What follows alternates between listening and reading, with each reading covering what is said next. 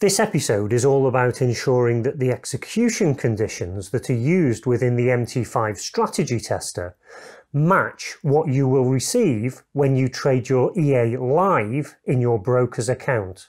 And I'll be concentrating mostly today on commission and especially in terms of when you're using custom symbols in your backtest. If you don't follow the process that I show you today, then the results you get will be misleading and probably over optimistic compared with the results in your live account. And so of course it's really, really important that you get this right.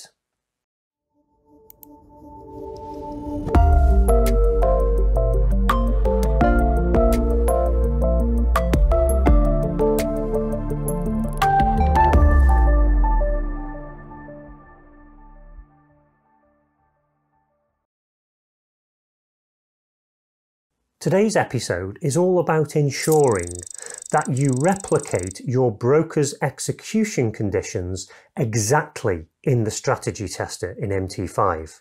And only by doing this will you stand any chance of your results being indicative of what you could expect when you trade that expert advisor in your live account. If you don't follow the process that I'm going to take you through today, then you could be putting a system live based on misinformation. And of course, that's extremely dangerous.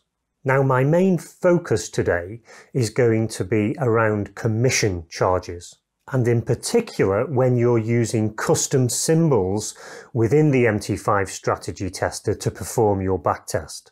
So let's first of all take a very quick look at what the issues are, and then following that I'll get straight into it and show you the process you need to take to make sure that you're not going to be affected by these.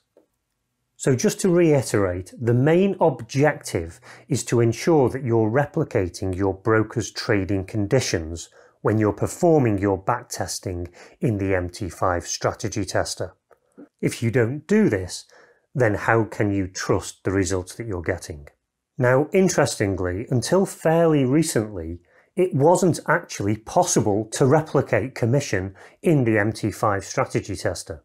And before this time, it was really the responsibility of the trader to code this functionality into their expert advisor to make sure that commission was accounted for properly.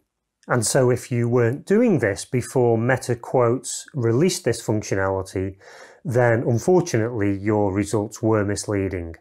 So for me personally, the way I chose to do this was to use the tester withdrawal function. And for every trade open and every trade close, I would withdraw an amount from the account equivalent to what my broker charges. And so in terms of the resulting equity curve, that would exactly replicate the conditions for my broker. Now I think it's worth raising a general point here. Whenever you backtest a trading strategy, never just assume that the results are accurate. And this goes for any backtesting platform, not just MT5. And as a professional algo trader, it's your responsibility to go in, look at each of those trades that are created, or certainly a sample of those trades. And as well as ensuring that your trading strategy rules are being executed properly, you also need to check that your commission is being charged appropriately. Any swap charges are being charged appropriately. That your spread is indicative of the conditions your broker provides. And if any of these are not a good replica of your broker conditions, then clearly you need to do something about it before you trust those results and put your system live. And this is just general good practice and is due diligence that every algo trader should go through. But fortunately now, in terms of commission charges, as I said, that functionality is now in place in the MT5 strategy tester.